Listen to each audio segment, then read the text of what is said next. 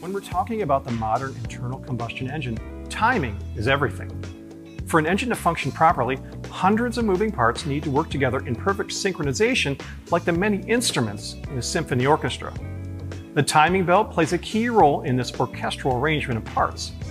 Using the timing belt, the crankshaft turns the camshaft half the speed of the crankshaft, causing the intake and exhaust valves to open and shut in time with the pistons as they move up and down in the cylinders. If this tightly orchestrated sequence of events is disrupted, it can cause serious damage to the engine. This is especially true of engines that use an interference design where the valves touch the top of the pistons if the timing is out of sync. When it comes to recommending a replacement timing belt or timing belt kit, there are a lot of options. The wide variety of brands, price points, and quality levels can be confusing for your customers. A great way to cut through the confusion is to ask this fundamental question how well does the replacement belt match the original belt in terms of material and design? First, let's talk materials. Most modern timing belts are made of complex synthetic materials, not old school natural rubber.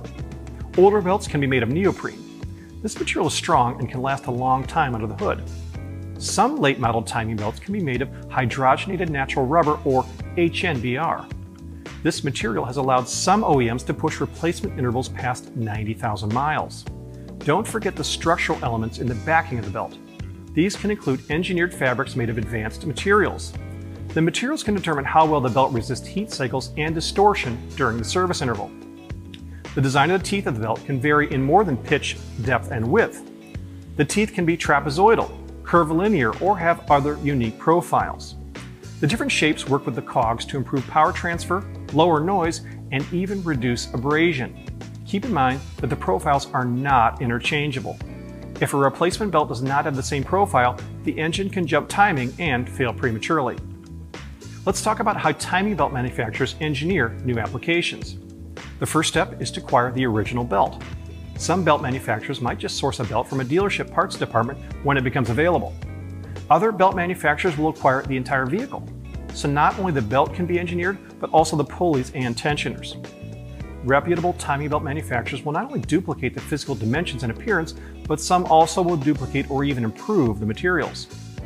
In the end, the belt or kit you recommend should come down to trust and reputation.